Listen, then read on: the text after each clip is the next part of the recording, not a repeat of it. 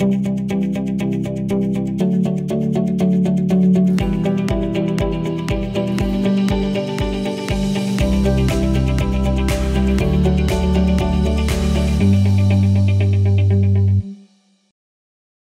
Small Local Supplier Program is a program that launched on July 1st, and it is to promote the utilization of small local businesses.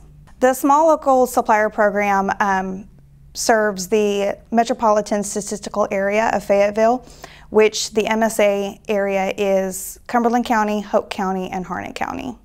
Small local businesses can join the program by visiting the www.faypwc.com website.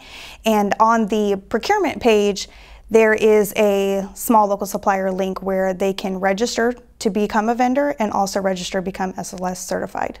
Industry Day is an event that will be held on August 11th from 4 p.m. to 6.30 p.m. at the PWC Administrative Complex at 955 Old Wilmington Road here in Fayetteville.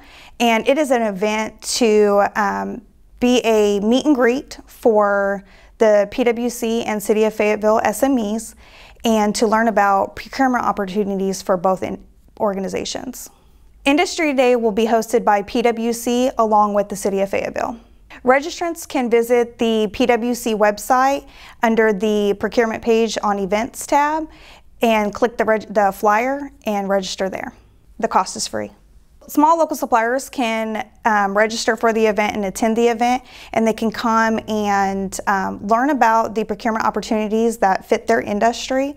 And they'll be able to learn about all of the SLS opportunities we have available for them. And they will also be able to register as a small local supplier at the event. I would encourage all small local suppliers within the MSA area to come to the event. We can help you determine whether or not you meet the eligibility requirements. Um, but either way, we want your business, so please come out and um, join the event.